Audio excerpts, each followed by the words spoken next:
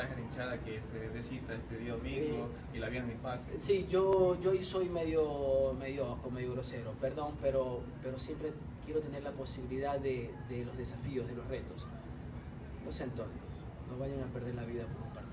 Para nosotros es un partido. Tal vez un mensaje a la hinchada que se decita este día domingo y la vía en mi paz. Sí, yo, yo soy medio, medio osco, medio grosero, perdón, pero, pero siempre quiero tener la posibilidad de, de los desafíos, de los retos.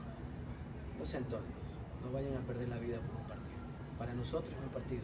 Les habla alguien que dejó todo, que creía que, que era salir a matar o morir. Y si había que morir era la, era la muerte. eh, no, no estoy hablando este, eh, en forma eh, figurada, estoy hablando en forma literal. Pensaba que morir era el, el máximo honor que podía tener un futbolista defendiendo los colores. Antes pensaba así. Este, pero hoy en día, ya con el tiempo, no se te ocurre poner en riesgo ni tu vida ni la vida de, de una persona solamente por el hecho de tener un color diferente, distinto. Eso solamente habla de tu mediocridad en cuanto a, lo- a los pocos, al poco entendimiento que tienes de la vida. Eh, si eres hincha, si eres fanático, anda a alentar a tu equipo. Y en la derrota nos toca perder. Esta es la vida. Así es la vida. En, ningún momento seas generador de violencia. Por el contrario, sé generador de paz. Anda con la predisposición de que si es que ves a uno vestido azul y de amarillo, acércate y dale la mano.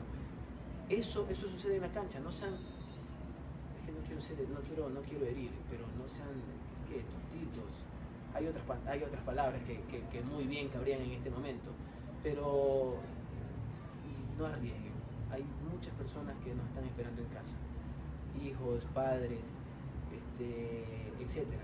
Los futbolistas vivimos de esta manera intensa un partido, pero cuando suele terminar, a veces somos amigos entre nosotros, hablo de los, de los rivales. Y nos hablamos, nos saludamos, todo termina ahí, con el tiempo todo, todo queda ahí. Así que no vale la pena, no vale la pena. Defiende tu club, ámalo, quiérelo, pero la violencia no es parte de- de- del amor. Es exactamente como una esposa. Si tú o una novia, que porque la amas y te pones celoso vas a, la vas a violentar. No, al contrario. No cometas ese error.